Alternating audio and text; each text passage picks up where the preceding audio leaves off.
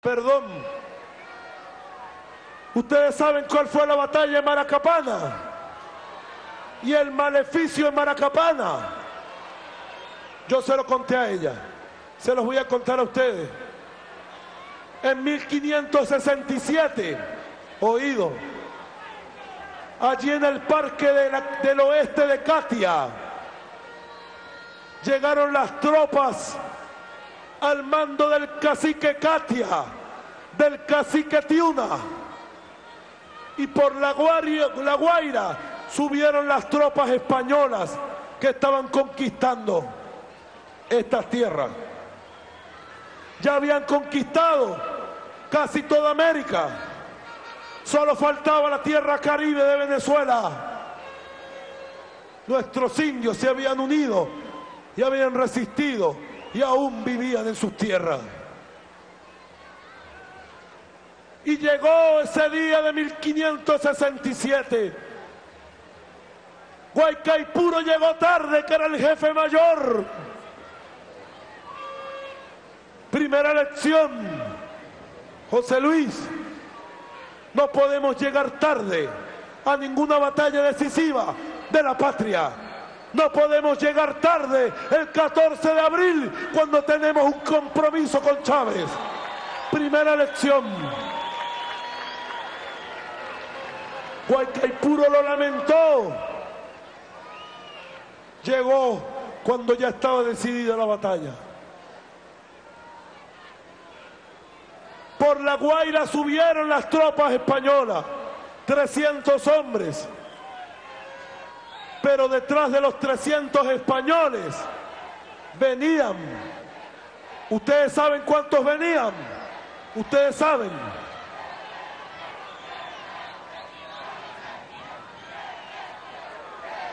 Venían 18 mil indios.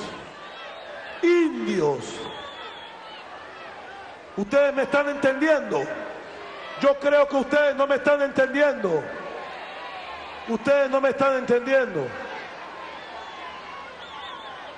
Detrás de las tropas españolas, combatiendo a favor de los españoles, venían 18 mil indios.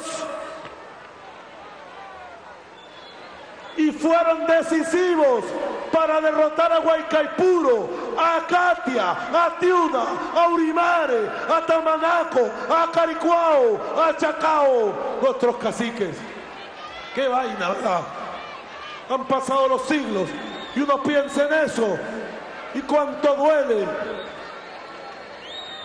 Esos indios no sé por qué estaban peleando a favor del imperio español. Pero, pero ellos fueron los responsables en Macracapana de que perdieran esa batalla que fue decisiva. Nuestros indios que defendían esta tierra, que defendían la familia, que defendían la vida de sus hijos, porque esta tierra era de ellos y no de los españoles. ¡Que viva Guaycaipuro! ¡Que viva la resistencia indígena! Todavía duele imaginarse a nuestros abuelos, de los abuelos, derrotados en su tierra por unos indios, hermanos de ellos. Bueno, después, ¿cuál fue la historia? En 1568 mataron a Katia, luego mataron a Huaycaipuro, lo quemaron.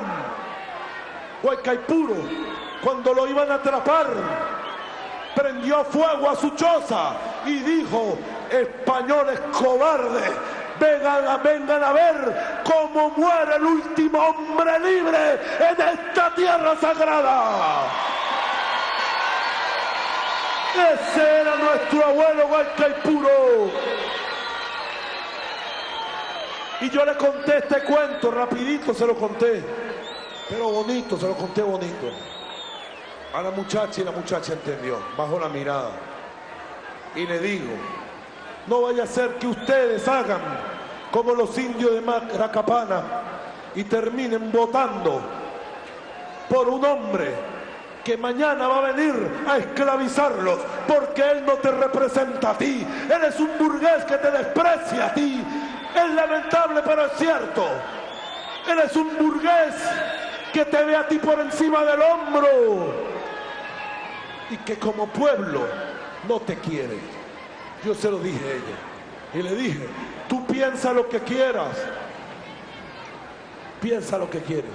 Y el día de votación, vota. Afortunadamente, el 14 de abril no es día de Maracapana. El 14 de abril es día de Carabobo, es día de victoria, es día de resurrección.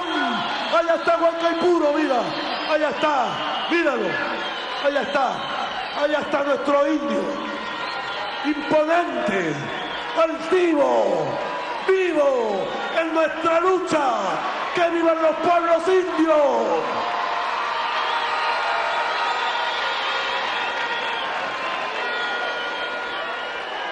El 14 de abril, querida Luis Elena, es día de Carabobo. Y ese día vamos a triunfar para que tú seas libre y nosotros podamos, nosotros, ir a tu casa como fuimos hoy y que tú tengas una casa digna mañana. Ella me dijo que iba a estudiar ingeniería petrolera. Estudia. Que aquí hay una faja petrolífera del Orinoco, rescatada por Chávez, y tú vas a trabajar allí, en la faja petrolífera del Orinoco. La muchacha se llama Luisana y la mamá se llama Maricruz. Un saludo. Yo a ustedes los amo. Diosdado, camarada, Silvia, compañero Héctor Rodríguez, vicepresidente del Partido Socialista de esta región, joven, joven, revolucionario de la